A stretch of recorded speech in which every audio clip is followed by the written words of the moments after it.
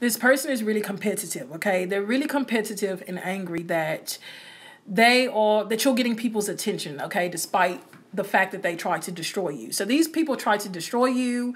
They wanted to shut you up. They didn't want you talking to anyone. They didn't want you um getting the spotlight. They didn't want people to have the, your attention, okay? And they purposely tried to block you. Some of these people went behind the scenes to purposely block you, okay? They're not telling people that they went behind the scenes to block you, but they went behind the scenes to block you some type of way, whether it was gossip, whether it was slander, okay? Whether it was um trying to have you arrested, okay, for, for who knows what, you know, slandering your name, okay? So they are angry and very competitive now uh, because they, people are still giving you attention, all right? You might not have like a lot of followers, but people are still watching you.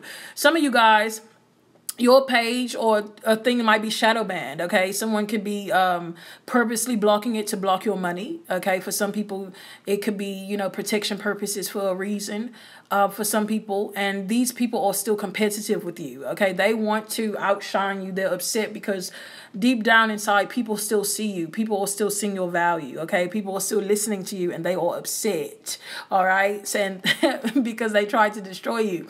So it's very important to continue to do what you're doing you understand? Because if someone's trying to block you, if someone's constantly bringing chaos at you, if someone constantly have to do whatever, all this hard stuff to get rid of you, this means that you have a specific purpose and you need to continue to talk and you need to continue to say what you're doing.